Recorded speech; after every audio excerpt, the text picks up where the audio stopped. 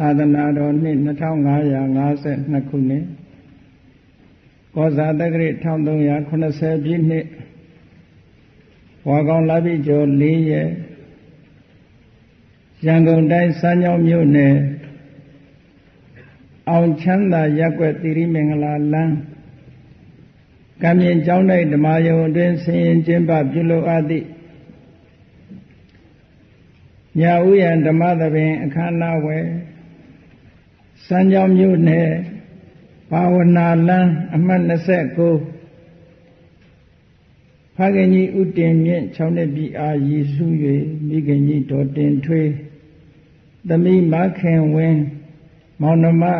တစုတို့ဤအမတဒါနအမတဒါနဓမ္မဒါနအဖြစ်ဖြင့်ဟောကြားအပ်သောရုပ်တရားကိုလေးလာသုံးသပ်ခြင်းအကြောင်းတရားဒေသနာတော် ဒီကနေ့ညတပါးသဘင်ကိုရွှေဘုံတော်သခင်ရှင်တော်မြတ်ဘုရားဤမဟာကရုဏာကုံအာယုံပြုကတိကျဖွဲ့စွာသောဝန္ဒနာပနာမအာတိတဂါထာကိုယူဆိုပူဇော်ခြင်းဖြင့်စတင်ကြရအောင်ယောကပကောတိဟိပိယပမေယံကာလံကရွန်တော်တိဒုက္ကရာနိ ခေရံကတောလောကဟိတယာနာထောနမောမဟာကာရုဏိကတတတ္တာယောနာထောဝိနိယများစွာတတ္တဝါဤချမ်းသာစေပါလိုလားတောင်းတဂုံပေါင်းခါသဖြင့်နာထမြညာခြင်းရှင်တော်မြတ်ဖရာသည် ကပ္ပကောတိဟိပိဂရေကဘာအရေအတွက်သင်္ချာတို့ဖြင့်တော်လဲအဘယ်မေယရေအတွက်တိုင်းတာဖော်ပြခြင်းငါမစွမ်းနိုင်ပါသောကာလလေးအတင်ချေသိမ့်နေကဘာရှိကြသောကာလပတ်လုံးလောကဣဒယတတလောကဤအကျိုးစီးပွားအလို့ငါအတိဒုက္ခရာဏိဥ္စာသက်ချေလက်အင်္ဂါ မေတ္တာကြီးမှသမိတာနှင့်တထာဇနီစွန်ခြင်းကြီးဟုကျက်တိထဘွယ်ငါးသွဲအစုအလွန်ခဲရင်တော်မူတို့ကိုကရွန်တော်ဘုရားဖြစ်ရန်ဤတန်ကြိုးကုတ်အထုတော်မူရသည်ဖြစ်၍ခေရန်လက်ချင်းမျက်လုံးအသက်ဆုံးရဲ့နှလုံးစိတ်ဝံကိုရောဤပင်မခြင်းတို့ကတောဘဝဒါနကျင့်ခံများစွာရောက်တော်မူခဲ့ရရှာလေပြီ မဟာကရုဏီကတတတဝါများရင်ဝဲသားကဲ့သို့တနာချစ်ခင်မဟာကရုဏာရှင်ဖြစ်တော်မူသောတသနာတသဝိနိယများစွာတတဝါဤချမ်းသာစီပါလိုလားတောင်းတဂုံပေါင်းခါသဖြင့်နာထမြညာထိုးရှင်တော်မြတ်ဖရာအားနမောယုတိပြောင်းပြောင်းမှန်ကိုလျော်၍ ကြောယုကျူးရှိခိုးခြင်းသည်အထုဘဝတုစင်စစ်မသွေဖြစ်ပါစေတည်း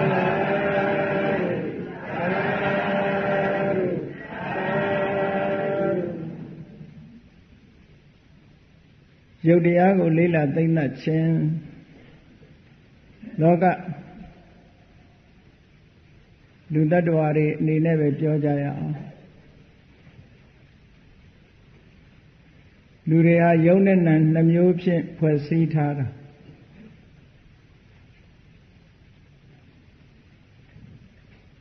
ရုပ်ဆိုတာ body ပေါ့လေနာမ်ဆိုတာ mind mind နဲ့ body ဒီနှစ်ခုပဲရှိတယ်လူလို့ပြောတဲ့အရာဟာဒီနှမျိုးနဲ့ဖွဲ့စည်းထားတာဖြစ်တော့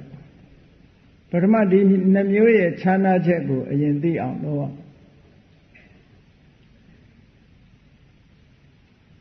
နံဆိုတာကအာယုံကိုသိတတ်တဲ့သဘောတရားကိုနာလို့ခေါ်တယ်မှန်ပါဗျာပါဠိစာပေမှာနာမဆိုတဲ့စကားလုံးကိုဘာသာမပြန်တော့ပဲနဲ့နံလို့ဒီလိုရေးလိုက်တာအတိပ္ပယ်ကတော့နာမပဲစကလုံးအမူရင်းကနာမနာမဆိုတဲ့အတိပ္ပယ်ကဘာတော့ဆိုရင် ညွတ်ကိုင်းခြင်းလို့အတိပ္ပယ်ရတယ်မှန်ပါပါဗျာဘယ်ဘက်ကိုညွတ်ကိုင်းနေတာလဲလို့ဆိုတော့အာယုံရှိတဲ့ဘက်ကိုညွတ်ကိုင်းနေတာနေကြပန်းကလေးဟာနေရှိတဲ့ဘက်ကိုမျက်နှာမူပြီးတော့နေလေးရှိတဲ့ကဲ့သို့မှန်ပါပါလူတွေရဲ့စိတ်လို့ခေါ်ရတဲ့သဘာဝတရားလူတွေရဲ့အသိစိတ်လို့ပြောရတဲ့သဘာဝတရားဟာ အာယုံရှိရာကိုညွတ်နေတဲ့အမြဲတမ်းညွတ်တယ်ဆိုတာအာယုံကိုရယူနေတယ်လို့ဒီလိုပြောတာမှန်ပါပါဗျာကြည့်လေတိတ်တိတ်ဆိတ်ဆိတ်တယောက်တည်းအိမ်ထဲမှာနေတဲ့အခါမှာတနေရာကတောက်ခနဲ့လို့အတန်မကြားလိုက်နဲ့အဲ့ဒီနေရာစိတ်ရောက်မသွားဘူးလားရောက်သွားပါတယ်ဗျာဒါညွတ်သွားတယ်လို့ခေါ်တာပဲမှန်ပါပါဗျာအာယုံရှိတဲ့ဘက်ကိုစိတ်ကလေးကရောက်ရောက်ရောက်ရောက်ပြီးတော့သွားနေတာအမြဲတမ်းအာယုံရှိတဲ့ဘက်ကိုစိတ်ကလှဲ့လှဲ့သွားတာ နမတိတိနာမံနမတိအာယုရှိရာသို့ကိုင်းညွတ်၍နေတတ်ဣတိထို့ကြောင့်နာမနာမမြည်၏ဟောနန္တရားဆိုတာအာယုရှိရာကိုညွတ်ညွတ်သွားတဲ့သဘောတဲ့ကြည့်မျက်စိကမြင်လိုက်ရင်လည်းမြင်တဲ့အာယုဘက်ကိုစိတ်ကရောက်သွားတယ်နားကအတန်ကြားလိုက်ရင်လည်းကြားတဲ့ဘက်ကိုစိတ်ကရောက်သွားတယ် နှာခေါင်းထဲကအနံ့ကလေးတစ်ခုရရင်လည်းရတဲ့အာယုံပဲစိတ်ကရောက်သွားတယ်ဟောထို့တူပဲလျှာထဲမှာအရသာတစ်ခုခုပေါ်လာလို့ရှိရင်လည်းထိုအရသာပဲစိတ်ကရောက်သွားတယ်ခန္ဓာကိုယ်ကတစ်ခုခုထိမိလို့ရှိရင်လည်းထိုအထိတွေ့အာယုံပေါ်မှာစိတ်ကရောက်သွားတယ်ဘယ်ဟာမှမထင်ရှားတဲ့အခါမှာ အာယုံရှိရာကိုစိတ်ကနိုင်လိုက်ပြီးတော့စိတ်ကူးတယ်လို့ပြောကြတာတွေးနေတယ်လို့လည်းပြောကြတယ်ဟုတ်ကဲ့လားမှန်ပါပါဗျာအဲ့ဒီတွေးနေတာကြမ်းနေတာအာယုံရှိတာတွေညွတ်နေတာအလုံးဟာနာမနန္တရားလို့ဒီလိုခေါ်တာနော်မှန်ပါပါဗျာအဲ့ဒီနန္တရားဆိုတာရုပ်တရားနဲ့ရှင်တွဲပြီးတော့တဘာဝချင်းမတူပေမဲ့လို့ရှင်တွဲပြီးတော့ အချင်းချင်းအပြန်အလှန်အကျိုးပြုပြီးတော့နေကြတယ်အဲ့ဒါကနန္တရားရုပ်တရားဆိုတာကတော့အာယုရှိကိုတက်စီကိုညွတ်သွားတတ်တဲ့သဘောမရှိဘူးအာယုရှိတဲ့နေရာကို तू ညွတ်သွားတဲ့သဘောမရှိဘူးအာယုကိုလည်းမသိဘူးဘာမှအာယုကိုသိတာမျိုးတစ်ခုမှမရှိဘူးသိတာကစိတ် သိတာကနန္တရားအာယုံကိုရယူမှုမပြုတ်တတ်တာဟာဒါယုတ်တရားလို့ခေါ်တယ်နော်မှန်ပါပါဗျာဒါကသဘာဝအနေနဲ့ကြည့်ပြောတာအာယုံကိုသိတာကနန္တရားအာယုံကိုမသိတာကယုတ်တရားပါဗျာယုတ်တရားဆိုပါစို့တဏှာရမှာထိုင်းနေတယ်လို့ဆိုတဲ့အခါမှာကြည့် စိတ်ကလေးကသာထိုင်းနေတယ်လို့သိတာခန္ဓာကိုယ်ကြီးကငါထိုင်းနေတာပါလားလို့ယုတ်ကမသိဘူးမှန်ပါပါဗျာအဲ့ရပေါ်လဲလျောင်းနေလို့ရှိရင်လဲ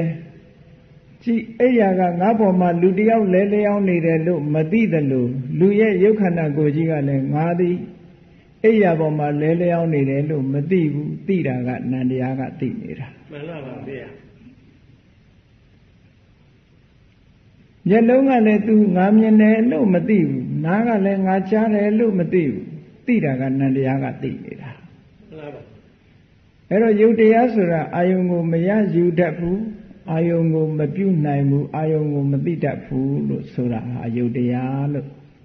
တဘာဝအဖြစ်ရှင်းဥစွာဒီလိုခွဲခြားမှန်ပါပါအဲ့တော့လူတွေရဲ့ခန္ဓာကိုယ်ဟာယုံနဲ့နှစ်ရပေါင်းစပ်ထားတယ်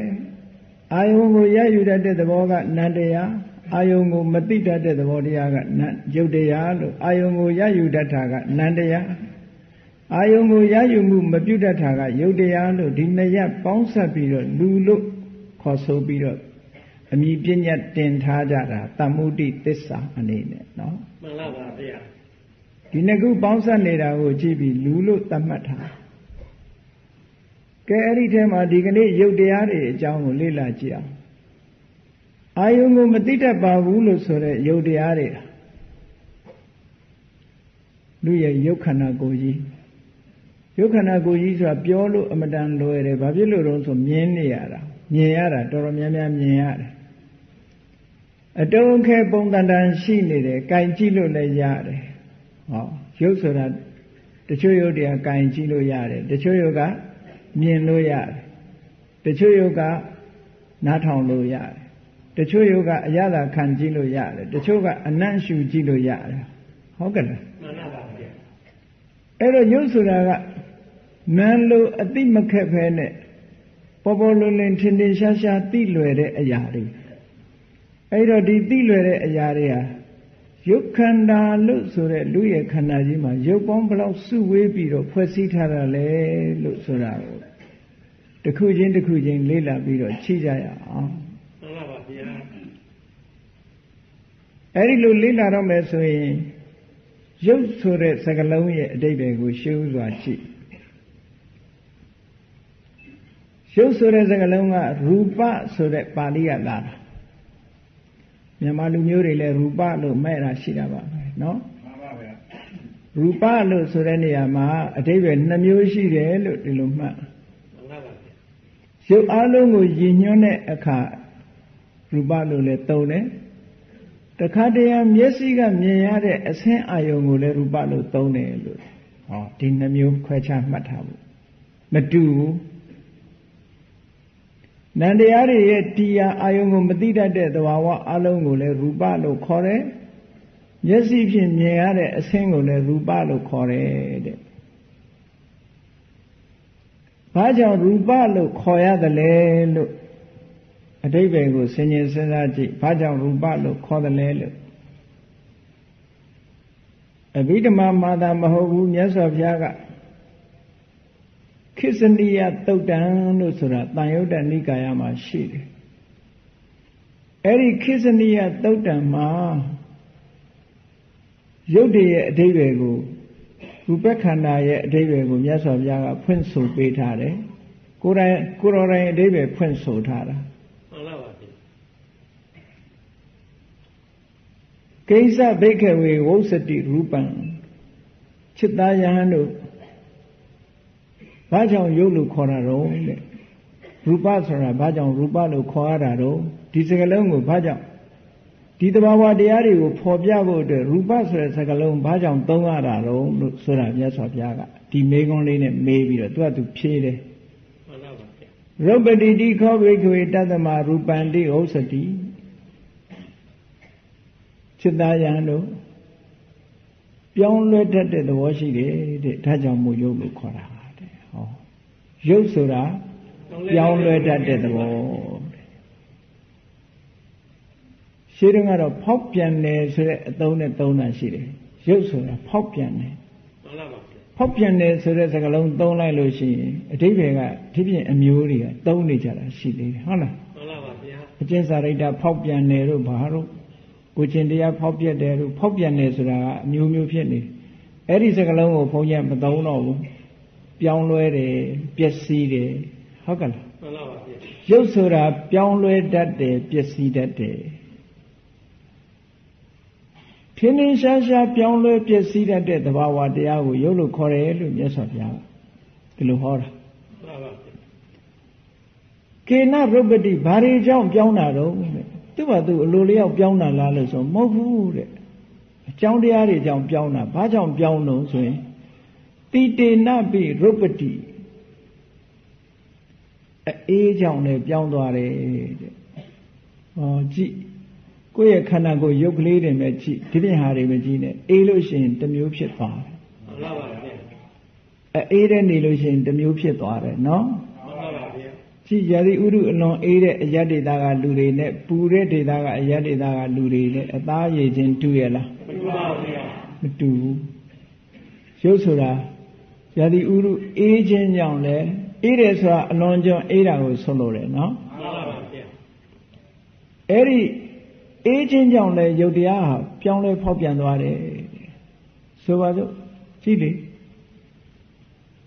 ရေလေးကငကိုယ်တော့ကအရေပျော်ဝင်နေတာအရေပျော်ဝင်နေတဲ့ရေလေးကိုရေခဲတစ်တာနဲ့ထက်ရေခဲနိုင်တဲ့အခန်းနဲ့ထည့်ထားလိုက်လို့ရှိရင်ထိုရေလေးကရေအရီကနေပြီးတော့အခဲဖြစ်ပြောင်းမသွားဘူးလားတောင်းပါပါဗျာအဲ့ဒါမျိုးဆိုလို့လေနော်ပြောင်းသွားတယ် သင်္တရံပြောင်းသွားဒါကိုတိတေနပိရုပ္ပတိလို့ပြောလို့ရတာပေါ့အေးကြောင့်လည်းပြောင်းသွားကြည်လေတချို့သိအေးတဲ့အရက်တွေမှာနေတဲ့ပုဂ္ဂိုလ်တွေဟာခန္ဓာကိုယ်မှာအကာအကွယ်တွေလုပ်ရတယ်အကာအကွယ်မလုပ်နိုင်လို့ရှိရင်နှာခေါင်းပြားလေးတွေနှရွက်ဖြားလေးတွေမဲလာအေးလောင်တယ်လို့ခေါ်တယ်အပူလောင်တယ်လို့အေးရလည်းလောင်တာမှန်လားပါဗျာ frozen bite လို့အင်္ဂလိပ်လို့ခေါ်တာ frozen bite frozen bite ဆိုတာ froze ပါတိတ်ပြီးတော့ရေခဲလောက်အောင်အေးတဲ့အေးကိုပြောမှန်လားပါအဲ့ဒီအေးရဲ့ကြိုက်တဲ့ဓာန်ကိုခံရသည့်အတွက်ကြောင့်နှာခေါင်းပြားလေးတွေမဲသွားဧဝရတောင်တက်တဲ့ပုံကိုယ်တွေဒါမျိုးတွေကြုံတတ်ရတယ်။ဩနေရဖြားလေးတွေသွေးမရောက်တဲ့အခါကျတော့ဒါလေးတွေမဲပြီးနောက်ကျရင်ပုတ်ပြောင်းသွားတတ်တယ်မှန်လားပါ။ အကာအကွယ်မလုပ်လို့ရှိရင်သွေးမသွားနိုင်သည့်အတွက်ကြောင့်ဒီခြေပြားလက်ပြားလေးတွေကမဲပြီးပုတ်လာ။ဒါဘယ်သူကြောင့်ပြောင်းလဲသွားတာတော့လို့ဆိုတော့အေးကြောင့်ပြောင်းလဲသွားတာတဲ့အလွန်အေးတဲ့ထဲထည့်ထားလို့ရှိရင်ရေခဲတဲ့ထဲထည့်ထားလို့ရှိရင်ဟင်းရွက်တွေလည်းတဖြည်းဖြည်းကျတော့နွမ်းသွားတာပဲမှန်လားပါဟုတ်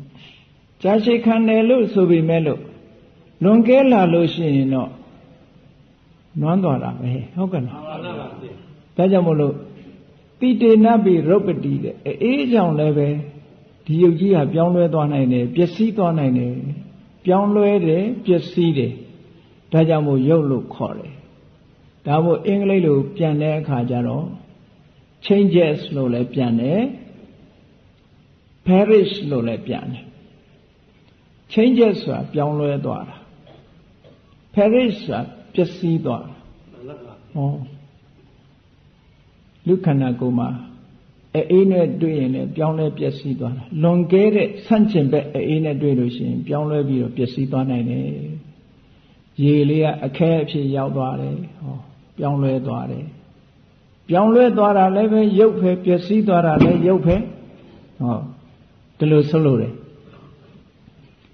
နောက်မြတ်စွာဘုရားကဒါတိတာအောင်ဟောတာ ဩနေနပိရုပ္ပတိအပူနဲ့တွေ့လို့ရှိရင်လည်းပြောင်းလဲသွားနိုင်တယ်ပျက်စီးသွားနိုင်တယ်တဲ့သူ့ရဲ့ခန္ဓာကိုယ်လည်းဒီတိုင်းပဲမီးလောင်လိုက်လို့အပူတွေ့သွားပြီတိတ်ပူတဲ့အပူနဲ့တွေ့လိုက်လို့ရှိရင်လူရဲ့ခန္ဓာကိုယ်ဟာဘယ်ခံနိုင်မလဲဟုတ်ကလားမှန်လားပါဗျာမီးလောင်ခံရရင်မီးလောင်တဲ့နေရာဆိုမဲသွားမှာပေါ့ရေတွေကွာသွားမှာပေါ့ပြောင်းလဲသွားတယ်ပျက်စီးသွားတယ်အပူကြောင့်လည်းပြောင်းလဲပျက်စီးသွားတယ် ခုနရေကလေးကိုအပူပေးလိုက်တဲ့အခါကျတော့ဘာဖြစ်သွားတော့အငွေ့ဖြစ်သွားဖြစ်ပါဟောပြောင်းသွားတာအကြီးကနေပြီးတော့အငွေ့ဖြစ်သွားတယ်ဒါဘာကြောင့်ပြောင်းတာတော့လို့ဆိုဆန့်ကျင်ဘက်အပူကြောင့်ပြောင်းတာလို့ထို့တူပဲဇိကိဆာယပိရုပ္ပတိဆာလို့ရှိရင်လည်းပြောင်းသွားတယ်ပိပါတာယပိရုပ္ပတိ ရင်ငတ်လို့ရှိရင်လည်းပဲပြောင်းလဲပျက်စီးတယ်တဲ့ဟောယုတ်တရားတွေကဒါလူသားတ attva တွေနဲ့တ attva တွေနဲ့ရည်ညွှန်းပြီးတော့မြတ်စွာဘုရားဒါတွေဟောတာနော်မှန်လားပါဗျာဇိကိဆာယပိရုပ္ပတိထမင်းစားလို့လဲအလွန်စားပြီးတော့ငတ်လို့ရှိရင်ပေါ့ငတ်သွားလို့ရှိရင်ငတ်မွတ်နေတယ်ဆိုလို့ရှိရင်ပြောင်းလဲနိုင်တယ်မွတ်သိပ်တယ်ရေသိပ်စားတယ်ရေမတော့ရဘူးဆိုလို့ရှိရင်လည်းပြောင်းလဲသွားတာပဲ ဟောပျက်စီးသွားနိုင်တယ်ရေငတ်ရင်လည်းသေတာပဲနော်အစာငတ်ရင်လည်းသေတာပဲမှန်လားပါဟောရုပ်တရားတွေဟာပြောင်းလဲနိုင်တယ်မခံနိုင်ဘူးဒန္တမကတဝါဒတပသရိတပတံဖတ်တေနာပြီချင်းကြိုက်လို့ရှိရင်လည်းပြောင်းတယ်ဟုတ်တယ်ချင်းကြိုက်လို့ရှိရင်လည်းရိုးရိုးအရေးပေါ်မှာအဖူးကလေးတွေဖြစ်လာတယ်ဟောတာပြောင်းလဲမှုပဲနော်မှန်လားပါတချို့ကြတော့ sport အပေါက်ကလေးအပြောက်ကလေးတွေထင်းလာတယ် ချင်းကြိုက်တဲ့နေရာမှာအနီးပြောက်ကလေးတွေအနီးဆက်ကလေးတွေပေါ်လာတယ်ဒါပြောင်းလဲမှုပဲပဂတိအရေးသားကနေပြောင်းလဲပြီးတော့သွားတာမက်တို့ချင်းတို့ဒီအကောင်တွေကြိုက်တယ်မွေတို့ကင်းတို့ဆိုတဲ့အစိတ်ရှိတဲ့ကောင်တွေကြိုက်တယ်ဩခန္ဓာကိုယ်ရဲ့အနေအထားရုပ်တဘာဝတရားတွေဟာပြောင်းလဲပြီးတော့ပျက်စီးတတ်တယ်တဲ့ မြတ်စွာဘုရားကလွယ်လွယ်လေးသိအောင်လို့ရုပ်ဆိုတာဆန့်ကျင်မဲ့နဲ့တွေ့ရင်ပြောင်းပြောင်းသွားတဲ့သဘောတရားတွေကိုပြောတာပါတဲ့မှန်လားပါဗျာတဘာဝကိုယ်ကပြောင်းသွားတဲ့အနေအထားရှိတယ်လို့ခိစ္စနိယသုတ်တံမှာမြတ်စွာဘုရားကရူပရဲ့အဓိပ္ပာယ်လို့ဒီလိုဖွင့်ဆိုထားတာအဲ့တော့ပြောင်းလဲတတ်တဲ့သဘော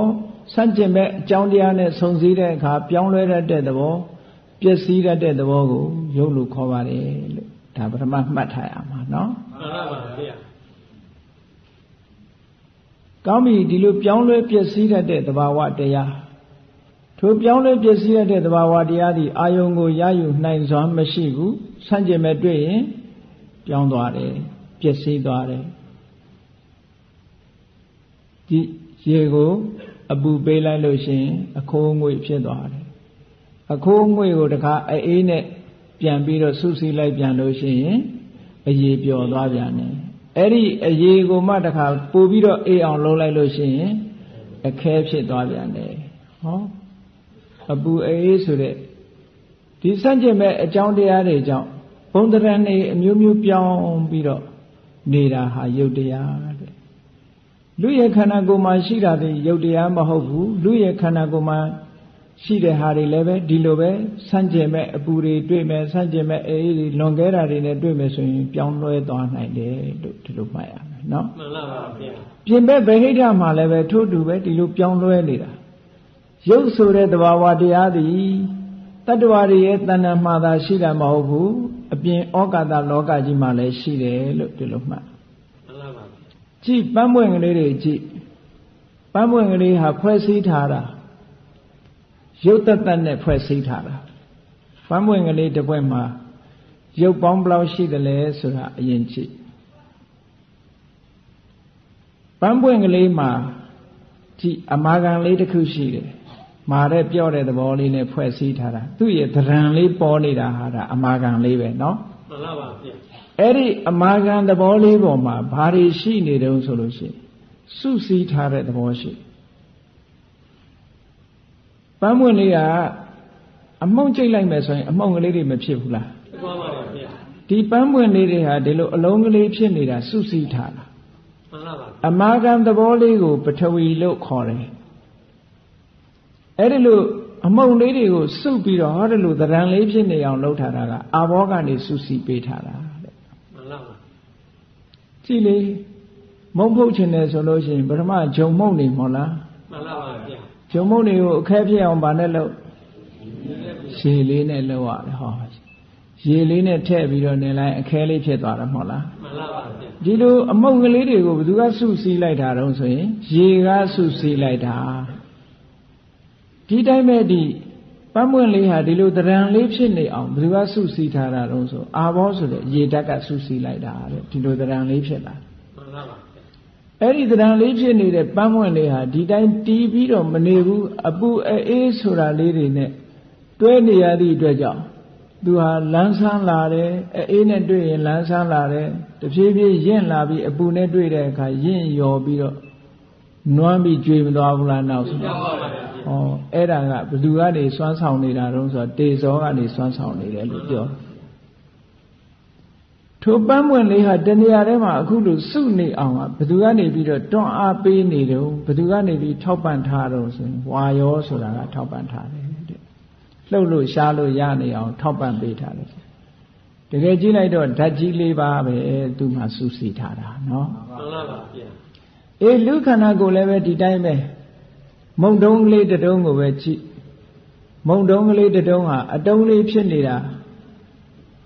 ထိုအတုံးလေးပေါ်မှာဘာတွေရှိတုံးထိုအတုံးလေးဖြစ်နေအောင်ဘယ်သူကစုထားတုံးဆိုအာဘောကစုထားတယ်ထိုအတုံးလေးဟာမားလာအောင်ဘယ်သူကလှုပ်ပေးနေတုံးဆိုတေဇောကလှုပ်ပေးတယ်ဟောတဖြည်းဖြည်းမားလာတယ်ထိုမားလာတဲ့ဒီလိုမာပြီးတော့ဘေးပတ်ဝန်းကျင်နဲ့မဆက်ဆံအောင်တွန်းပြီးတော့ပေးထားတာကဘယ်သူကပေးတုံးဆိုဝါယောကပေးထားတယ်အဓိကက ရုပ်ထဲမှာအဓိကကဟောဒီမဟာဘုတ်၄ပါးပဲတဲ့မှန်ပါပါဗျာဒါကြောင့်မို့ရုပ်အကြောင်းကိုလေ့လာမယ်ဆိုလို့ရှိရင်မြတ်စွာဘုရားသခင်ကိုရောမြတ်ကအေးရုပ်ဆိုတာဘယ်ဟာတွေတုံးလို့မေးတော့မဟာဘူတဆိုတဲ့မဟာဘုတ်၄ပါးတနည်းအားဖြင့်ခေါ်ရင်ဓာတ်ကြီး၄ပါးမှန်ပါပါဗျာတို့ဓာတ်ကြီး၄ပါးပေါ်မှာမှီပြီးတော့တီးနေတဲ့ရုပ် ဥပါဒါရုပ်လို့ခေါ်တယ်မှန်ပါပါဗျာမဟာဘူတသို့မဟုတ်ဓာတ်ကြီး၄ပါးပါဠိလိုမဟာဗုဒ္ဓမဟာဗုဒ္ဓဓာတ်ကြီးလေးပါဓာတုအဲ့ဒီမဟာဗုဒ္ဓဆိုတဲ့မဟာဗုဒ္ဓ၄ပါးထိုမဟာဗုဒ္ဓ၄ပါးကိုမှီပြီးတော့ထိုမဟာဗုဒ္ဓ၄ပါးပေါ်မှာ ယက်တည်နေရတဲ့ယုတ်တွေကဥပါဒါယုတ်လို့ခေါ်တယ်မဟာဗုဒ္ဓ၄ပါးကိုမှီပြီးတော့နေတဲ့ယုတ်တွေကဥပါဒါယုတ်တဲ့မှန်လားပါဗျာအဲ့တော့ပထမဆုံးအားဖြင့်အကျဉ်းကိုဒီလိုနှစ်ခုမှတ်ရမယ်မဟာဗုဒ္ဓ၄ပါးရဲ့ဥပါဒါယုတ်က24ပါးရဲ့အလုံးပေါင်းလိုက်လို့ရှိရင်ယုတ်28ပါးလို့ခေါ်တာကဲအဲ့ဒီယုတ်28ပါးကိုတစ်ခုစီတစ်ခုစီဆင်ញင်စဉ်းစားပြီးတော့ကြည့် မဟာဗုဒ္ဓ၄ပါးဆိုတာအလုံးသိကြတဲ့အတိုင်းပထဝီအာဘောတေဇောဝါယောဒါကပါဠိလိုပြောတဲ့အမည်ပညာတွေပါဠိလိုပြောတဲ့ဟာတွေမြေရေလေမီဓာတ်ကြီးလေးဗျာဟုတ်လားမှန်လားပါပထဝီဆိုတာမြေအာဘောဆိုတာရေတေဇောဆိုတာမီးဝါယောဆိုတာလေ မြေရေလေမီဓာတ်ကြီးလေးဗျာဓာတ်ကြီးလေးပါးရဲ့နာမည်နဲ့ဒါတွေကိုနာမည်ပေးထားတာ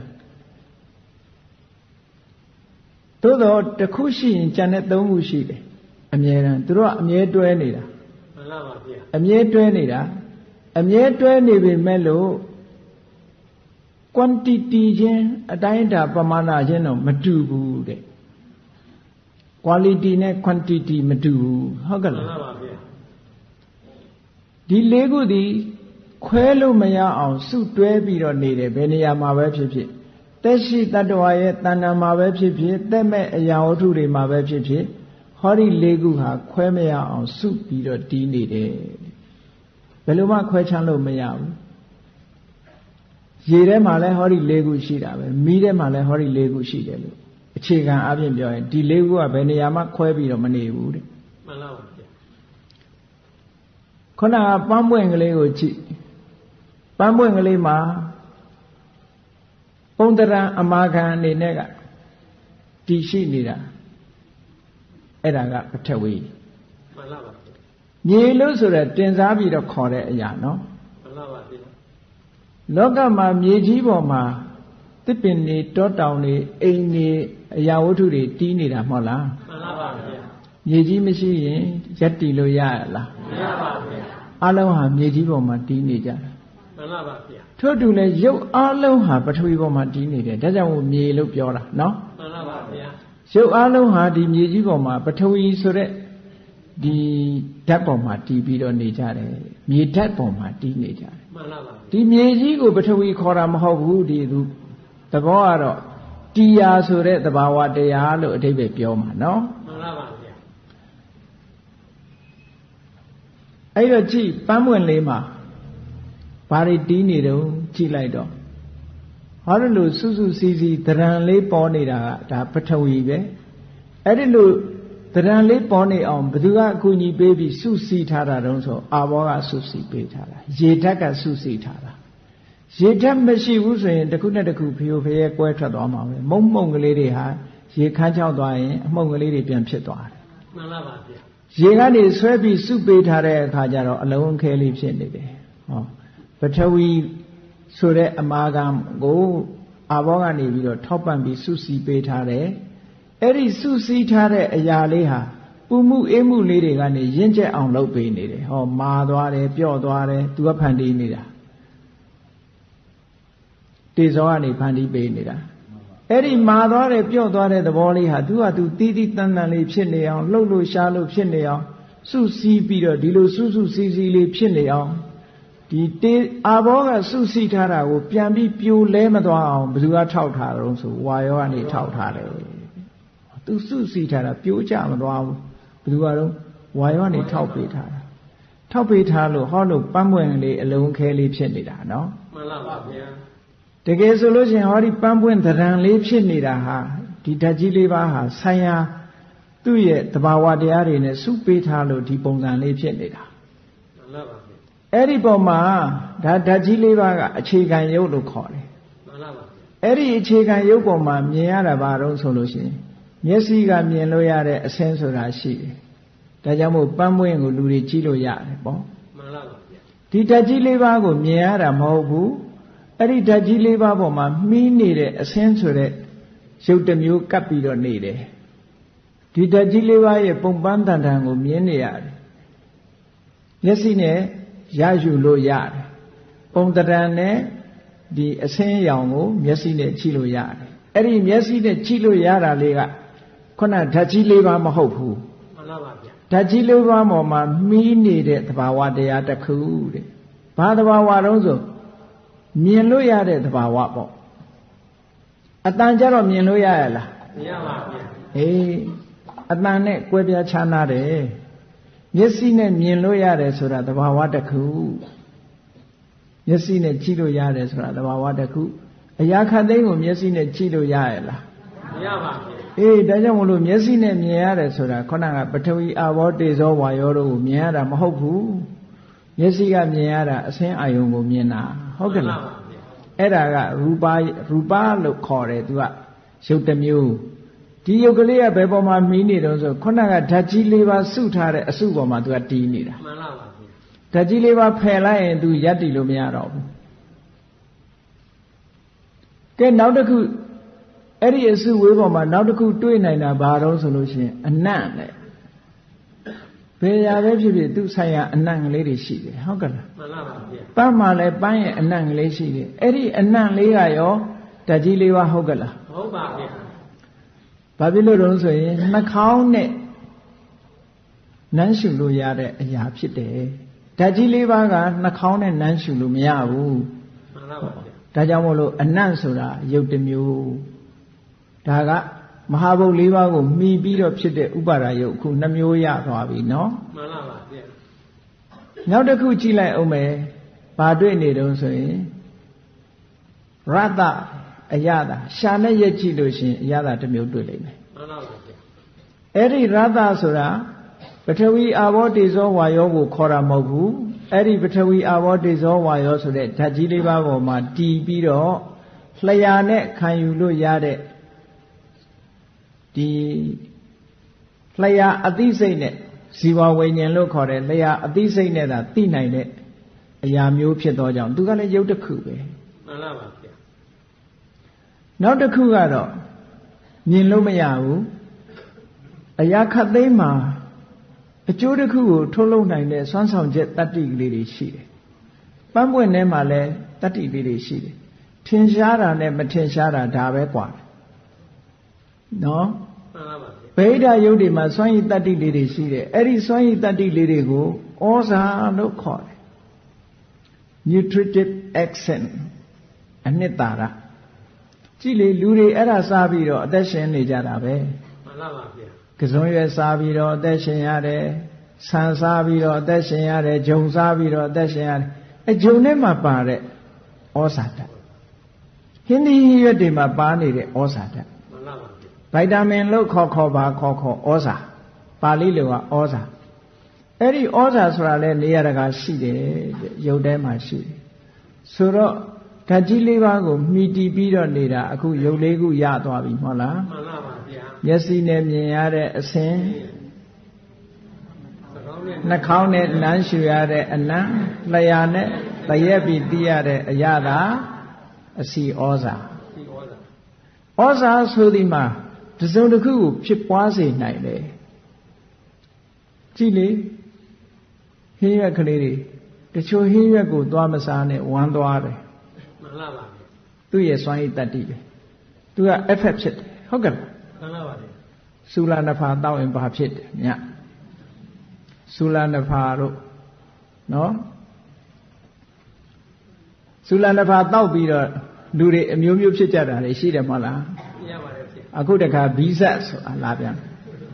အဲ့တော့ဒီအရွက်တွေမှာသူကသူတတ္တိလေးတွေရှိတယ်ဆိုတာသိကြတယ်လေမှန်လားပါဗျာ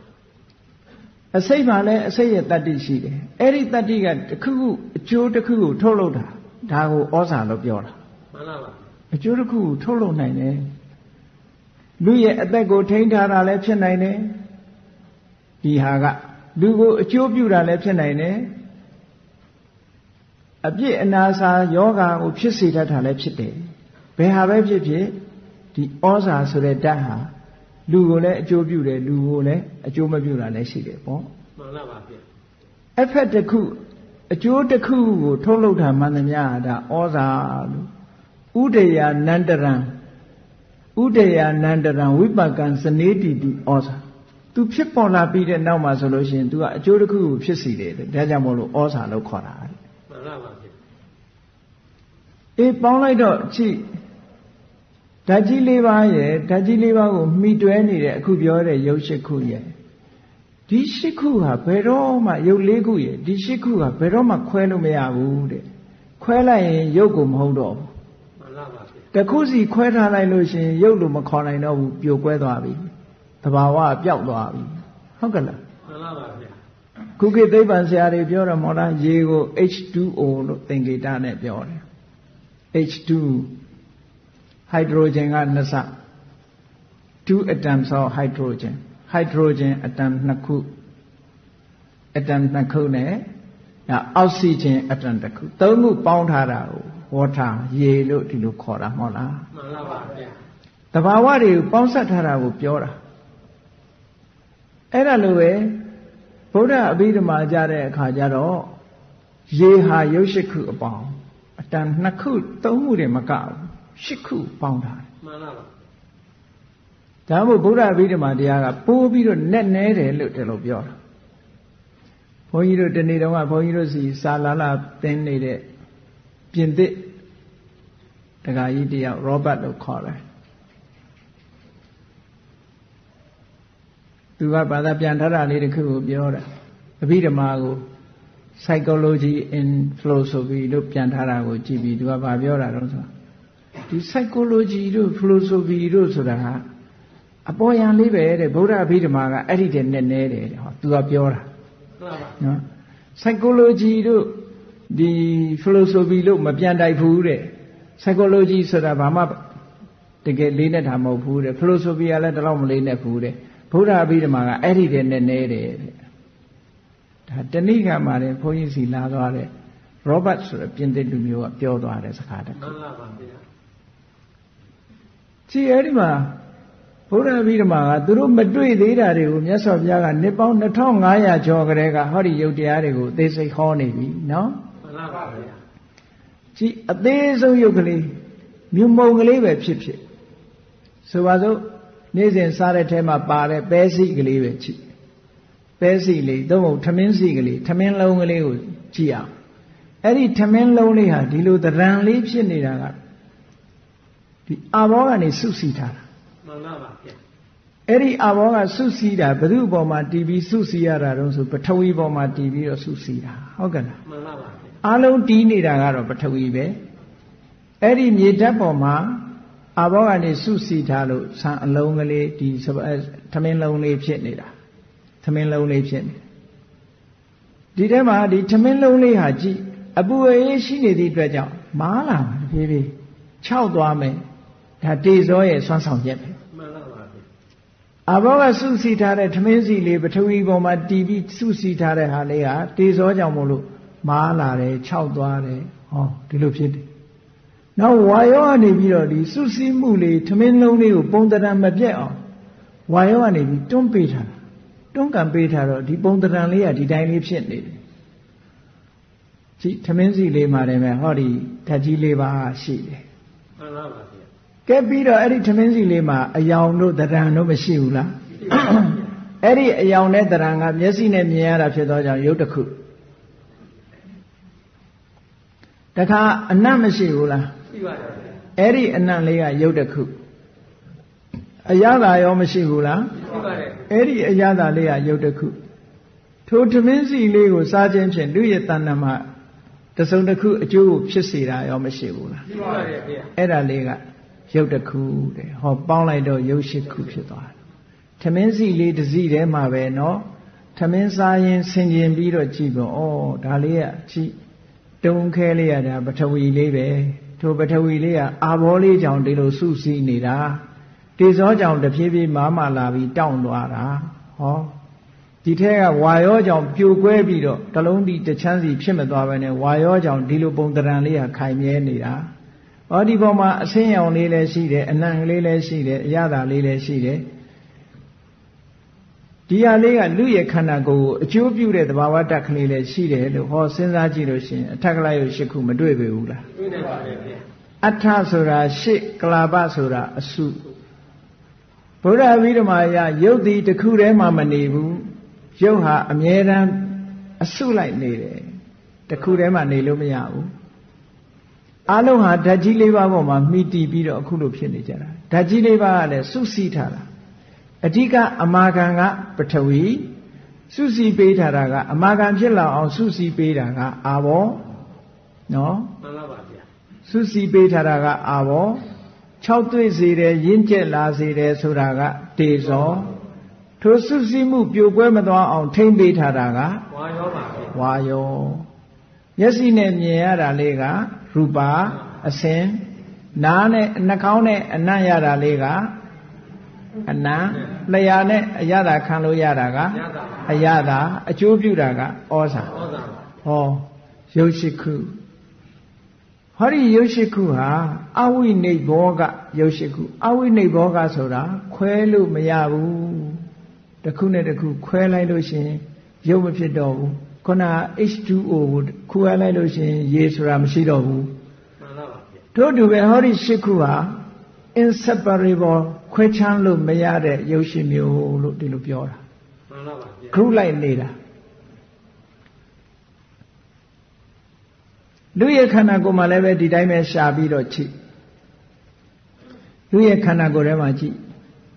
ခေါင်းဆိုတာပုံပန်းတဏ္ဍာကြီးဒီလိုဖြစ်နေတယ်လက်ကလည်းရှည်ရှည်ပုံပန်းတဏ္ဍာကြီးဖြစ်နေတယ်ခြေထောက်ကလည်းပုံပေါင်ကနေပြီးတော့ခြေထောက်ပုံပန်းပုံပန်းတဏ္ဍာဖြစ်နေအဲ့ဒီလိုပုံပန်းတဏ္ဍာတွေကဖြစ်နေတာဒီအမာခံကပထဝီပဲမှန်လားပါဗျာဒီလိုပုံပန်းတဏ္ဍာကြီးပေါ်နေအောင်ဘယ်သူကစုပေးထားတာတုံးဆို အာဘောကစုပေးထားတာဒီပုံပန်းတဏ္ဍာကြီးဟာတဖြည်းဖြည်းဒီလိုအမာခံကြီးဖြစ်သွားအောင်ဘယ်သူကလှုပ်ပေးနေတာတုံးဆိုတော့ဒီသောတေဇောကလှုပ်လာတာတဖြည်းဖြည်းရင့်ကျက်နေတယ်ပုံပန်းတဏ္ဍာကြီးပြိုကွဲမသွားအောင်ဘယ်သူကထိမ့်ပေးနေတာတုံးဝါရောကထိတ်ဝါယောကထိမ့်ပေးနေတာတဲ့နောက်အဲ့ဒီပေါ်မှာအစင်တရံဆိုတာရှိတယ်အနံ့ဆိုတာရှိတယ်အရသာဆိုတာရှိတယ်အကျိုးပြုတာဆိုတာရှိတယ်ဟော ကြည့်လိုက်မယ်ဆိုရင်လူခန္ဓာကိုယ်မှာလည်းပဲဒီရုပ်ရှိခုကိုတွေ့နိုင်တယ်မှန်လားပါဗျာဒီတဲ့ပို့ပြီးတော့ရှာလို့ရှိရင်ဒီတဲ့ပို့ပြီးတော့တွေ့အောင်မယ်အဲ့ဒီရုပ်ရှိခုဟာဘာကြောင့်နေဖြစ်နိုင်တုံးလို့ဆိုတော့အကြောင်းရှာကြည့်လိုက်လို့ရှိရင်တချို့ရှိခုကကမ်းကြောင့်ဖြစ်တာပထဝီအာဘောတေဇောဝါယောရူပဂန္ဓရတ္တဩဇာပါဠိလိုပြောလို့ရှိရင်နော်မှန်လားပါဗျာဟော ပါဠိလိုပြောတဲ့အခါကျတော့ပထဝီအာဘောတေဇောဝါယောမြန်မာလိုပြောမယ်ဆိုရင်မြေရေလေမိဟုတ်လားအစင်အနံအယတာဩဇာဟောတချို့ကကြတော့မြန်မာပြန်ရတာရှည်တော့အဲ့တော့ပါဠိလိုပဲသုံးလိုက်ကြတာပေါ့နော်မှန်လားပါဗျာကိုရှာလို့တွေ့ပြီပဲစကလုံးကအဓိကမဟုတ်ဘူးစကလုံးဆိုတာထွင်ပြီးတော့သုံးသွားတာကိုနဲ့ နားလည်သွားလို့ရှိရင်စကလုံးဟာစကလုံးပဲလေမှန်လားပါဗျာလူတောင်မှနာမည်တွေအခုအရှိကြီးမဲ့ကြတာမဟုတ်လားမလေးမှန်လားပါဆုံးအောင်တော့မခေါ်နိုင်ဘူးတချို့နာမည်တွေဘယ်နာမည်တွေတောင်အရှိကြီးမဲ့သေးတာပဲဒီအလုံးလေးသုံးလေးလုံးတော့မှတ်လို့ရတာပေါ့နော်အဲ့တော့ဒီရှစ်ခုဟာအကြောင်းမရှိဘဲနဲ့တော့သူတို့မဖြစ်ဘူးအကြောင်းတွေရှိသေးတယ်တဲ့အဲ့ဒါယုတ်တရားရဲ့အကြောင်းဟာ၄မျိုးရှိတယ် ယုတ်ကိုလေ့လာတဲ့အခါမှာဟောဒီအကြောင်းတရားကိုလည်းဆက်ပြီးတော့လေ့လာအကြောင်းတရား၄ခုထဲမှာယုတ်ကိုဖြစ်စေတတ်တဲ့အကြောင်းတရားဟာကံဆိုတာတစ်ခုပါတယ်စိတ်ဆိုတာတစ်ခုပါတယ်လူရဲ့စိတ်ကလည်းယုတ်ကိုဖြစ်စေတတ်တယ်နောက်တစ်ခုကဥတုဥတုဆိုတာတခြားဟာကိုခေါ်တာမဟုတ်ဘူးတေဇောဓာတ်ကိုပဲခေါ်တယ်မှန်လားပါဗျာဥတုဥတုနဲ့ပြောနေတာရဲ့ဥတုကလည်းမကောင်းဘူးဟဲ့နဲ့ပြောကြတယ် ဘာကိုပြောတာတော့ပူရာအေးတာပဲပြောနေတာမဟုတ်လားမှန်လားပါဗျာပူရင်လည်းဥတုမကောင်းဘူးအေးရင်လည်းဥတုမကောင်းဘူးပြောကြတယ်မပူဘူးမအေးလေးနေမှကောင်းတယ်လို့ပြောတယ်ဟုတ်ကဲ့လားမှန်လားပါဗျာယာတိဥတုမကောင်းဘူးယာတိဥတုမကောင်းဘူးဆိုတာအဲ့ဒါပဲ temperature တေဇောဓာတ်ကိုပြောနေတာမှန်လားအဲ့တော့ဥတုဆိုတာယုတ်နောက်အာဟာရနေ့စဉ်စားသုံးနေတဲ့အာဟာရအဲ့ဒီအာဟာရကြောင့်လည်းယုတ်တိဖြစ်တယ်တဲ့ဟောဒီယုတ်ရှိမျိုးဟာ ကံကြောင့်လည်းဖြစ်နိုင်တယ်စိတ်ကြောင့်လည်းဖြစ်တယ်ဥရုကြောင့်လည်းဖြစ်တယ်အာဟာရကြောင့်လည်းဖြစ်တယ်ကံစိတ်ဥတုအာဟာရအဲ့ဒီထဲမှာကံဆိုတာကနန္တရားစိတ်ဆိုတာကနန္တရားနန္တရားကြောင့်ဖြစ်တာဒါတွေကသက်ရှိတ attva တွေမှာကံကြောင့်ဖြစ်နိုင်တယ်စိတ်ကြောင့်ဖြစ်နိုင်တယ်အာဟာရကြောင့်ဖြစ်နိုင်တယ်တက်မဲ့တွေကြတော့ ဥဒုကြောင့်ပဲဖြစ်တယ်ကြည့်တစ်ပင်တွေကရှင်သန်ပြီးတော့ထွားကြိုင်းနေတာတို့ညှို့ချောက်သွားတာတို့ဥဒုကြောင့်ဖြစ်တာနော်မှန်လားပါဗျာအဲ့တော့တစ်ပင်လို့ခေါ်တဲ့အရာလဲကြည့်လိုက်မယ်ဆိုလို့ရှိရင်ဟောဒီဒီရုပ်ရှိခုဖွဲ့စည်းထားတာပဲပုံပန်းတဏ္ဍအမျိုးမျိုးဖြစ်နေတယ်ဒီရုပ်ရှိခုဟာအမြင့်ကြတော့ပုံတဏ္ဍလူတွေကအမြင့်လို့ခေါ်လိုက်တယ်ဟောလုံးလုံးပင်စီကြီးကြတော့လဲ လူတွေကပင်စီလို့ခေါ်လိုက်တယ်ပုံတဏ္ဍကခုနအမြင့်နဲ့မတူပြန်ဘူးမှန်လားတခါအကိုင်းကြတော့လဲတခါပင်စီနဲ့မတူပြန်ဘူးအမြင့်နဲ့မတူပြန်ဘူးလူတွေကအဲ့ဒါကိုနာမည်တစ်မျိုးပေးလိုက်ပြန်တယ်တခါအရွက်ကလေးတွေကြတော့လဲခုနကပင်စီနဲ့မတူပြန်ဘူးလူတွေကနာမည်တစ်မျိုးပေးလိုက်တယ်အရွက်လို့ဟုတ်လားမှန်လားပါဗျာအပွင့်ကြတော့လဲအရွက်နဲ့မတူပြန်ဘူးမတူပြန်သည့်အတွက်ကြောင့်လူတွေကနာမည်တစ်မျိုးပေးလိုက်တယ်အပွင့်လို့တခါအပွင့်ကဖြစ်ပေါ်လာတဲ့ဟာကြတော့အသီးဆိုပြီးတော့နာမည်တစ်မျိုးပေးလိုက်တယ် ဟောတစ်ပင်တစ်ပင်ကြည့်လိုက်မယ်ဆိုလို့ရှိရင်ကြည်အမြင့်ရှိတယ်ပင်စီရှိတယ်အကိုင်းရှိတယ်အရွက်ရှိတယ်အပွင့်ရှိတယ်အသီးရှိတယ်ဟောတစ်ပင်မှာအဲ့ဒါတွေအားလုံးဟာလိုက်ကြည့်မယ်ဆိုရင်ဟောဒီရုပ်ရှိခုနဲ့ဖွဲ့စည်းထားတာတွေကြည့်ပဲတရံအမျိုးမျိုးပေါ်နေတယ်မှန်လားပါဗျာသရံအမျိုးမျိုးနဲ့ပေါ်နေတာအဲ့ဒီလိုသရံအမျိုးမျိုးပေါ်နေအောင်ဘသူတွေကဖန်တီးနေတာတုံးလို့ဆိုလို့ရှိရင်အခုပြောတဲ့ဓာတ်ကြီးလေးပါးကဖန်တီးနေတာတဲ့ ဒါကြောင့်မို့ဓာတ်ကြီးလေးပါးကိုမဟာဘူတအင်္ဂလိပ်လိုပြန်လို့ရှိရင် great appearance ပုံပန်းတဏ္ဍအကြီးကြီးတွေပေါ်လွင်လာတယ်နောက်တစ်ခုကမဟာအဘုဒအံ့ဩစရာသရံတွေအမျိုးမျိုးပြတယ်လို့ဒီလိုအဓိပ္ပာယ်ရတယ်မှန်လားပါဗျာကြည့်လေတောင်ကြီးတွေတို့ဆိုလည်းပဲဒါပဲလေဓာတ်ကြီးလေးပါပဲတောင်ကြီးတွေတို့တစ်ပင်ကြီးတွေတို့ အမတန်ကြီးကျယ်တာကြီးတွေအကုန်လုံးဟာဟောဒီမဟာဗုဒ္ဓအကြီးကျယ်တာမဟာဗုဒ္ဓဘောမှခုနကအစင်တို့ဘာတို့ဒီရုပ်တွေကဥပါဒာရုပ်တွေကကပ်ပြီးနေကြတာမှန်လားပါဗျာကြီးတာကမဟာဗုဒ္ဓကကြီးတာဟုတ်လို့ခေါ်တာဒီမဟာဗုဒ္ဓဆိုတဲ့စကားလုံးကိုကြည့်ပြီးတော့ခေါ်တာမဟာဆိုတာအလွန်ကြီးကျယ်ပြီးတော့ဗုဒ္ဓဆိုတာပေါ်လွင်ထင်ရှားနေတဲ့အရာတွေလို့ဒီလိုပြောတာနော်မှန်လားပါဗျာတောင်ကြီးတွေရဲ့တရံအမတန်ကြီးကြတယ်မြေပြင်ကြီးရေပြင်ကြီး တခါတည်းမိဘုံကြီးဆိုအမတန်ကြီးကျယ်တဲ့ပုံပန်းတရံတွေအနေနဲ့ပေါ်လာတာဒါကြောင့်မို့လို့မဟာဗုဒ္ဓ great appearance ပေါ့အဲ့ဒါကိုပဲဓာတု element လို့လည်းခေါ်သေးတယ်။ဘာဖြစ်လို့လဲဆိုဓာတုဆိုတာရဲ့သဘာဝတရား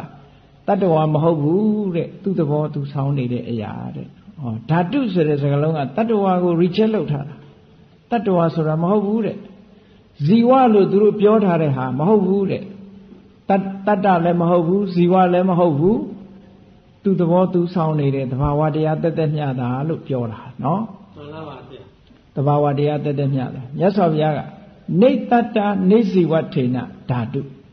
နေတတ္တတတ္တဝါလို့ခေါ်เสียမဟုတ်ဘူးတဲ့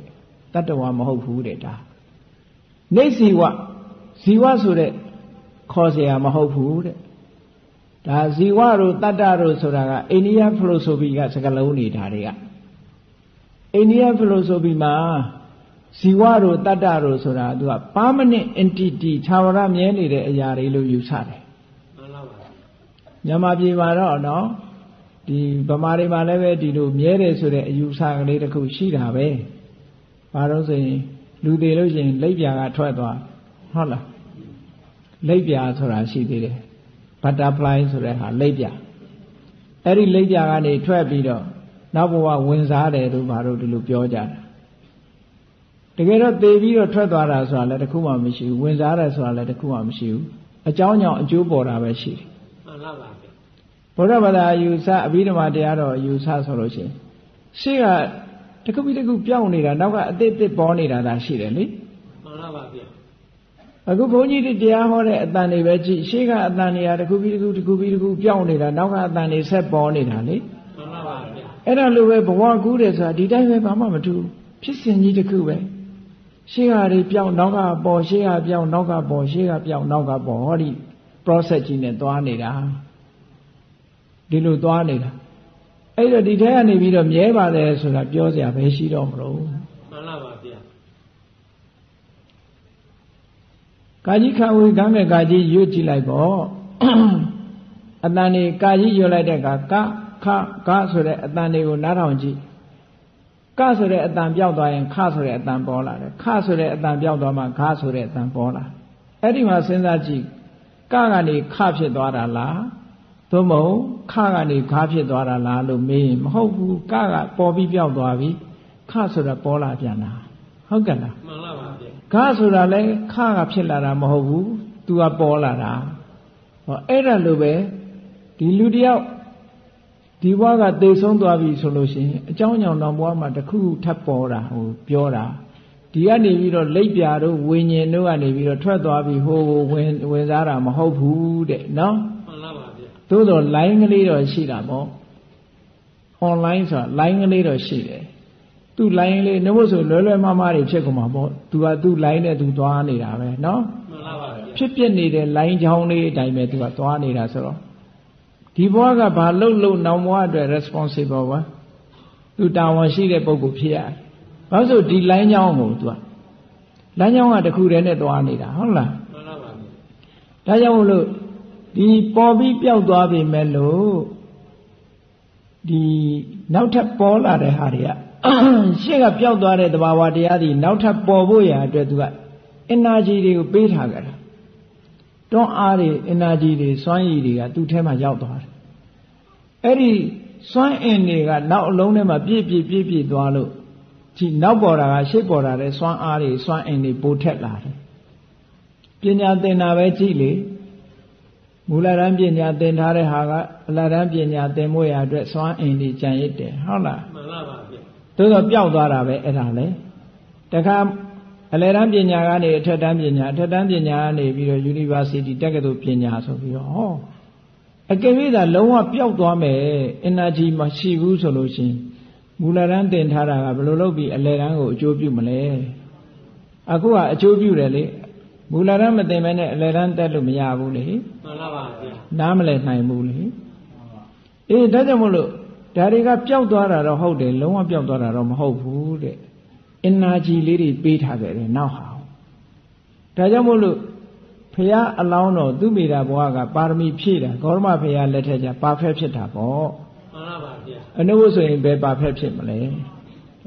ကိုယ် line လေးနဲ့ကိုကတော့ရှိတယ်သို့တော့အဲ့ဒီ line ထဲမှာမြဲနေတဲ့အရာရှိလားဆိုမရှိဘူး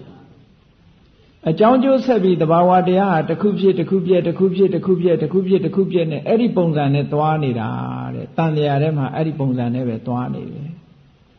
အကြောင်းတရားကိုမှီတည်ပြီးတော့ဖြစ်ပြီးသွားနေကြတာအေးကောင်းပြီမဟာဗုဒ္ဓတွေလူရဲ့ခန္ဓာကိုယ်ထဲမှာနည်းနည်းလောက်ရှာကြည့်အောင်လူရဲ့ခန္ဓာကိုယ်ထဲမှာကြည့်အယိုးဆိုတာရှိတယ်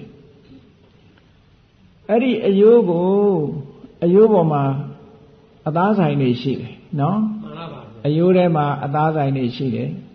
ဒါဟိုစကယ်တန်ရုပ်တုကြီးတွေပါတယ်ကြီးလိုက်မယ်ဆိုရင်အခုခေတ်တော့ဟိုကြီးစရာတွေပေါ်ပါတယ်လူရဲ့ခန္ဓာကိုယ်ထဲမှာမြင်လို့ရတာတွေလေအဲကြည့်လိုက်မယ်ဆိုလို့ရှိရင်အဲ့ဒီအဆိုင်အခဲတွေအားလုံးဟာဒီရုပ်တရားတွေရဲ့အားလုံးရဲ့တရားဖြစ်လို့သူတို့ကိုပထဝီလို့ပဲခေါ်တယ်နော်မှန်လားပါဗျာတရားပုံပန်းတန်တန်ကတော့အမျိုးမျိုးပဲသူကဖန်တီးနေတာပုံပန်းတန်တန်အမျိုးမျိုး အာဘောကနေစုစည်းပေးထားတယ်ဒီလိုအတုံးခဲတွေမှာအာဘောတွေကစုပေးထားတယ်တေဇောကရင့်ကျက်လာစေတယ်ဝါယောကပြိုလဲမသွားအောင်ထိမ့်ပေးနေတယ်ဟောဓာတ်ကြီးလေးပါခန္ဓာကိုယ်ထဲမှာရှိတယ်ကဲအဲ့ဒီဓာတ်ကြီးလေးပါခန္ဓာကိုယ်ထဲမှာကြည့်မာမာပြော့ပြော့အတုံးခဲမှန်သမျှကိုဒါပထဝီလို့ဒီထဲမှာအာဘောဆိုတဲ့သဘောကသူက ယိုစီးတဲ့သဘောနဲ့ဖွဲ့စည်းတဲ့သဘောနှစ်ခုရှိတယ်အာဘောမှာမှန်လားပါဗျာပထဝီမှာလည်းပဲသူကခက်မာတဲ့သဘောခက်မာတယ်ဆိုတာအတုံးခဲကိုပြောတာနော်မှန်လားပါဗျာအတုံးခဲလေးဖြစ်တာကိုပြောတာခက်မာတယ်ဆိုတာကက္ခလတ္တလက္ခဏာပထဝီပထဝီဆိုတာခက်မာတဲ့သဘောလေးအတုံးခဲသဘောလေးကိုပထဝီခေါ်တယ်အဲ့ဒီပထဝီသည်ပဋိဌာနရတ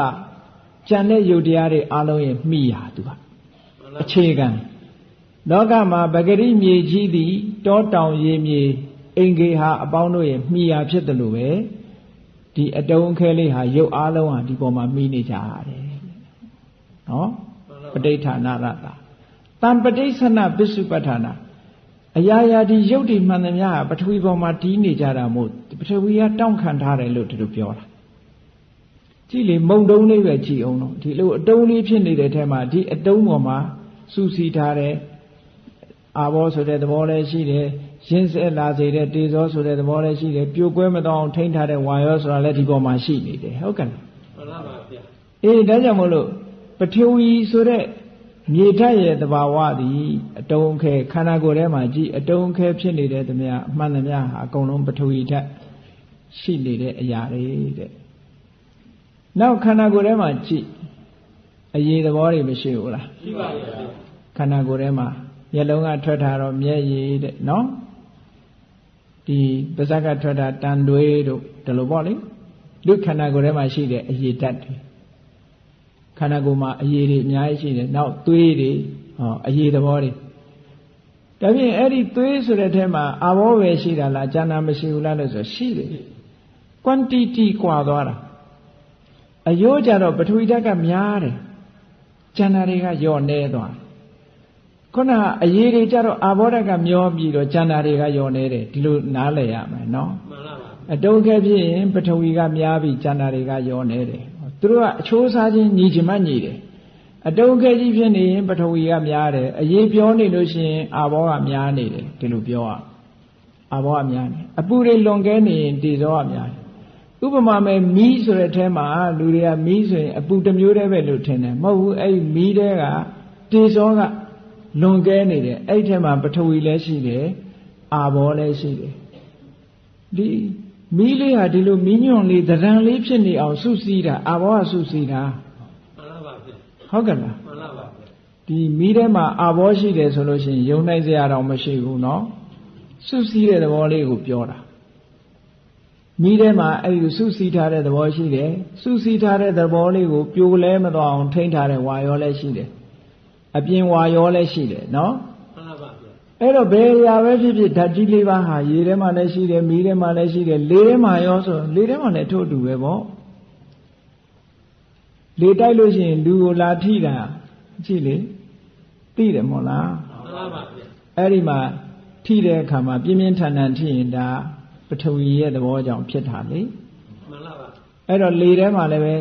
ဝါယောကပြင်းထန်တာဝါယောကလွန်ကဲတာကျန်တာတွေကယောနေတယ်ပေါ့အချိုးစားကြတော့ကြွာချတယ်ကဲလူခန္ဓာကိုယ်ထဲကိုကြည့်လိုက်လူခန္ဓာကိုယ်ထဲမှာ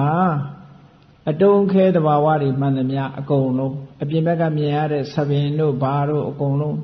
ဒါတွေကအကုန်လုံးပထဝီ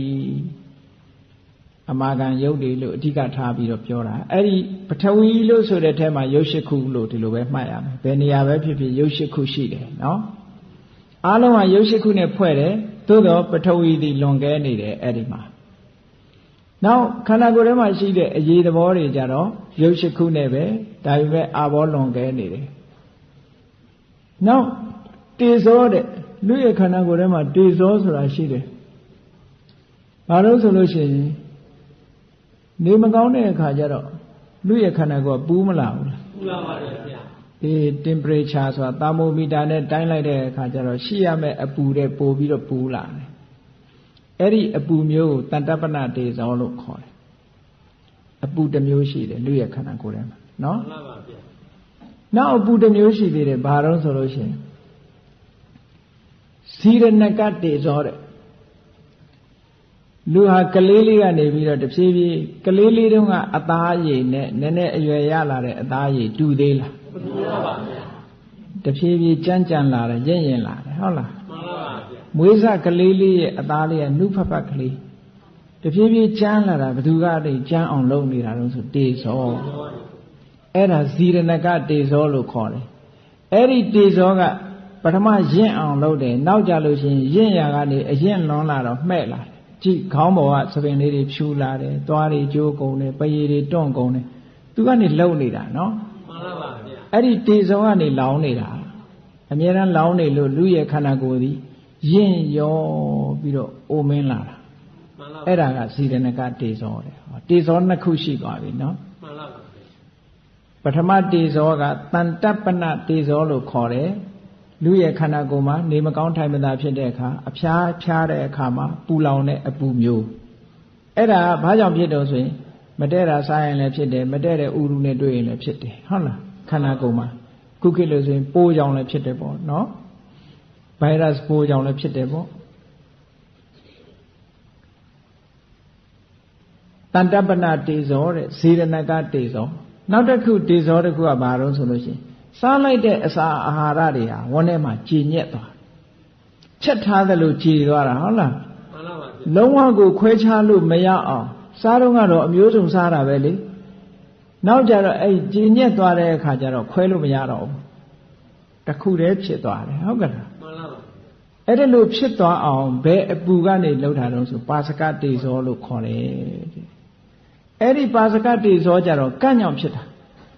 တခြားကြောင့်မဖြစ်ဘူးကျန်တာတွေကတော့ကံစိတ်ဥဒုအာဟာရကြောင့်ဖြစ်နိုင်တယ်ဒါကြတော့ကံတစ်ခုတည်းကြောင့်ဖြစ်တာတဲ့ကဲနောက်တစ်ခုတေဇောတစ်ခုကဘာတုံးလို့ဆိုလို့ရှိရင် तू ကဒရှနတေဇောတခါတရံကျတော့လူရဲ့ခန္ဓာကိုယ်မှာပူလာကြီးရဲ့လောင်လာကြီးရဲ့ဆိုပြီးတော့လွန်ကဲလာတဲ့အပူတွေလွန်ကဲလာတဲ့အခါမျိုးကြည့်လေအပူတွေလွန်လာတဲ့အခါကျတော့အနာတွေပေါက်ထွက်တာတို့ဘာတို့ဒီလိုတွေဖြစ်တတ်တယ်လေမှန်လားပါဗျာအဲ့ဒီလိုဟာမျိုးကတခုတဲ့ ဩလူခန္ဓာကိုယ်မှာကြည့်လိုက်လို့ရှိရင်တေဇောဟာ၄မျိုးရှိတယ်တဲ့တန်တပ္ပနတေဇောဆိုဖြားလို့ပူလောင်တာတစ်ခုဇေရဏကတေဇောတဖြည်းဖြည်းရင့်လာအောင်ဖြစ်စေတတ်တဲ့တေဇောကတစ်ခုပါစကတေဇောအစာအာဟာရတွေကျင့်ညက်စွာအောင် digest ဖြစ်အောင်ရှင်းကျင့်ညက်စေတတ်တဲ့တေဇောကတစ်ခုနောက်ဒရှနတေဇောခန္ဓာကိုယ်လောင်တတ်တဲ့တေဇောကတစ်ခုတဲ့ဟောအလုံးပေါင်းလိုက်တော့၄ခု ဒီ၄ခုဟာတေဇောလွန်ကဲနေတဲ့ရုပ်ရှိခုပဲလို့ဒီလိုမှတ်ရမယ်မှန်လားပါဗျာနောက်တစ်ခုဝါယောဆိုတာရှိသေးတယ်ခန္ဓာကိုယ်ထဲမှာဝါယောဆိုတာကဲအလွယ်တကူစပြီးတော့ကြည့်မယ်ဆိုရင်24နာရီပတ်လုံးလူတွေကအသက်ရှူနေကြတာရှိတယ်မဟုတ်လားမှန်လားပါဗျာအဲ့ဒီအသက်ရှူနေတဲ့ဒီလေကြတော့စိတ်ကြောင့်ဖြစ်တာတဲ့အကြောင်းတရားကစိတ်ပဲတခြားအရာကြောင့်ဖြစ်တာမဟုတ်ဘူး ဒီထွက်လေဝင်လေဟာစိတ်ကြောင့်ဖြစ်နေတာထွက်လေဝင်လေရပ်သွားလို့ရှိရင်ဟောဒီစိတ်အားနေသွားတာလို့ပြောအောင်ထွက်လေဝင်လေထုံလုံးနိုင်လောက်အောင်စွမ်းအားတတ္တိမရှိဘူးဆိုရင်ရပ်သွားနောက်စတုထဇံလို့ပါတော့တမာရီတိတ်ကောင်းသွားပြီးတော့စတုထဇံအဆင့်ထိရောက်သွားရင်လည်းထွက်လေဝင်လေရပ်သွားတယ်ဟောထွက်လေဝင်လေတွေရပ်သွားတတ်တယ်ဒါကြောင့်မို့လို့ထွက်လေဝင်လေထွက်သက်ဝင်သက်ဟာဒီလေဟာစိတ်ကြောင့်ဖြစ်တာတဲ့ စိတ်ကြောင့်ဖြစ်တဲ့ဝါရောဒါတစ်ခုခန္ဓာကိုယ်ထဲမှာနောက်တစ်ဖန်တစ်ခါတစ်ခါလူတွေလေတက်တယ်မဟုတ်လားမှန်လားပါဗျာအထက်သို့ဆန်တဲ့လေကတစ်မျိုးရှိတယ်။အောက်သို့စုံတဲ့လေကလည်းတစ်မျိုးရှိတယ်။ဥထဲမှာဘိုက်ထဲမှာဝမ်းဘိုက်ထဲမှာရှိတဲ့လေကတစ်မျိုး။ဥတွေထဲမှာရှိနေတဲ့လေကတစ်မျိုး။ခန္ဓာကိုယ်ထဲမှာလှဲ့လှဲ့သွားနေတဲ့လေကတစ်မျိုးတဲ့။ကြည့်သွေးတွေဟာဒီ ခန္ဓာကိုယ်တစ်ခုလုံးကိုလဲပတ်နေတာနှလုံးရဲ့ညှစ်အားကိုကြည့်ပြီးတော့နှလုံးညှစ်အားနဲ့ဟောဒီဝါယောဓာတ်ရဲ့စွမ်းအားနဲ့ဒီခန္ဓာကိုယ်တစ်ခုလုံးကိုသွေးတွေကလဲပတ်နေတယ်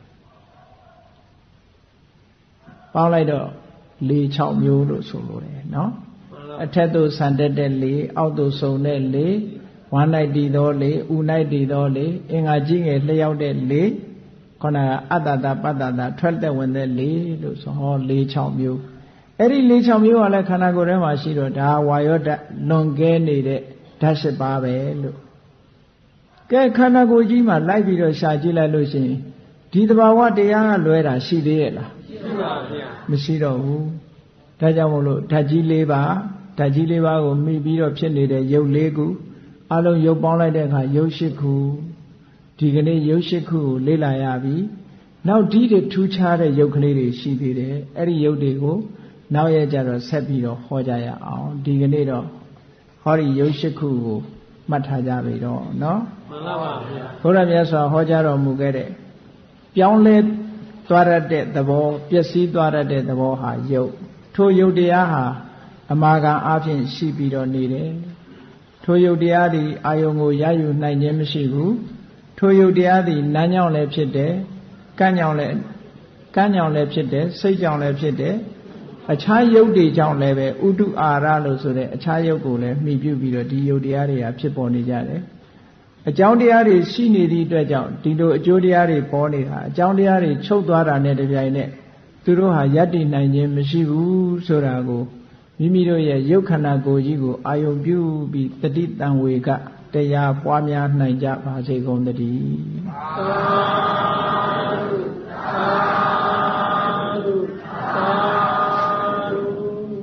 ကဲမေတ္တာပို့ရတတ္တဝါများစွာတတ္တဝါများစွာဘေးရန်กว่าဘေးရန်กว่าချမ်းသာကြပါစေချမ်းသာကြပါစေမေတ္တာရေချမ်းမေတ္တာရေချမ်း သွန်ငါဖြံသွန်ငါဖြံငြိမ်းချမ်းကြပါစေ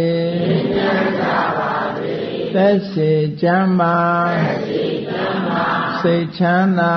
စိတ်ချမ်းသာတို့ရဆန္ဒပြည့်ပါစေတို့ရဆန္ဒပြည့်ပါစေဓမ္မောဒရံပိဝိတဝါနဝိသာသဗ္ဗေသမှုဟတာအာဇရာမရာတိတိဘာဝနိဗ္ဗာနံယန္တုတာရော ဓမ္မောဒရံလောဘဒေါသမောဟစိတ်တောက်ကင်းပြောက်ကြည်တရားစေကိုပိဝိတဝဝန္တာရှင်ပြတောက်ကြရနာကြရကုန်သောကြောင့်ဝိသာတဝေပူဇာညစ်နောက်ကိလေသာစိတ်တောက်ဟုသမျှတို့သည်သမုဒ္ဒပိဉ္ကြပဲတွင်ရေမတင်တဲ့ကဲ့သို့ကင်စင်တွင်ပြောင်းပေမရအောင်ပယ်ဖြောင်းအကုန်သည်ဟွန်တုစင်စစ်မသွေဖြစ်ကြပါစေကုန်သတည်း အာဇရမရံအိုခြင်းလဲကွာနာခြင်းလဲကင်းသေးခြင်းလဲရှင်းထသောတိတိဘာဝကိလေသာဟုပုခသိင်ကင်းခြင်းရာအစစ်ဖြစ်ပေထသောနိဗ္ဗာန်နိဗ္ဗာန်ဟုခေါ်ဤမြို့တော်သို့သာရောတရားချစ်ခင်စိတ်ကောင်းဝိညာသူတော်စင်များတို့သည်ယန္တုပါရမီအဆင့်ဆင့်မြင့်နေမြင်၍မလင့်ပုံသေးဆက်ရောက်တော်မူကြပါစေကုန်တည်း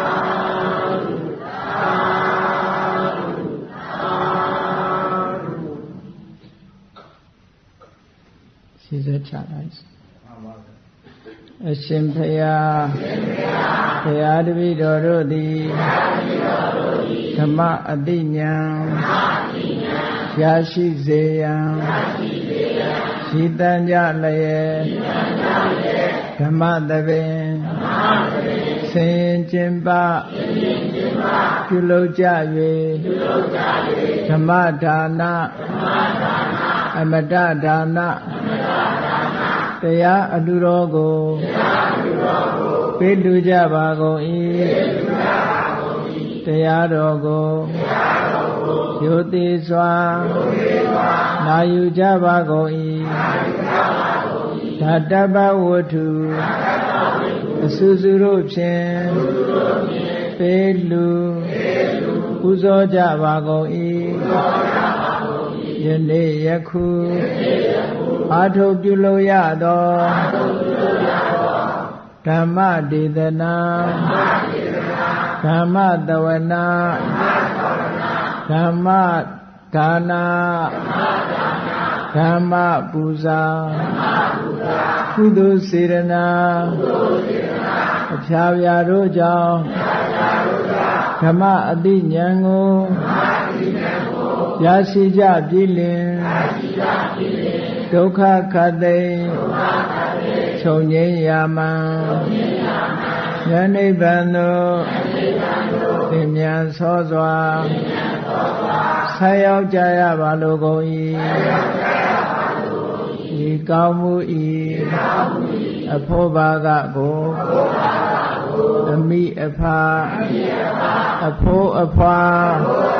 ဆရာသမားမှစ၍ကဘာသူကဘာသာလူနတ်မြမတတ္တဝါအများတို့အား